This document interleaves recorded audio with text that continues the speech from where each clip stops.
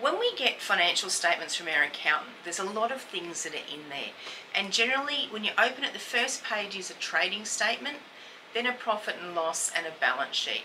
So, what is a trading statement?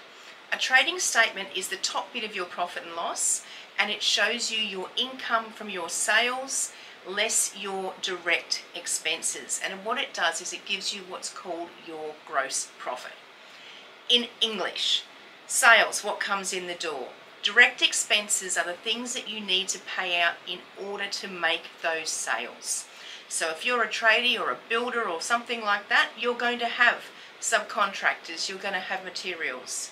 If you're a shop, you're going to have the purchases of your stock.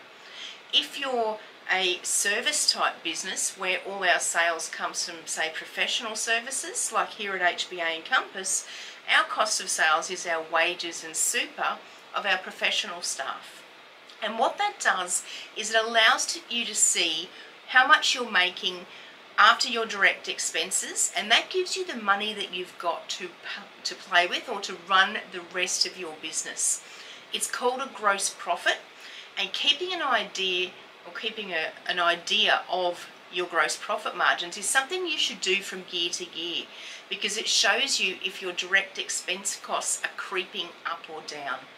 And the bigger your business, the bigger percentage increases in those makes a massive difference in your profitability.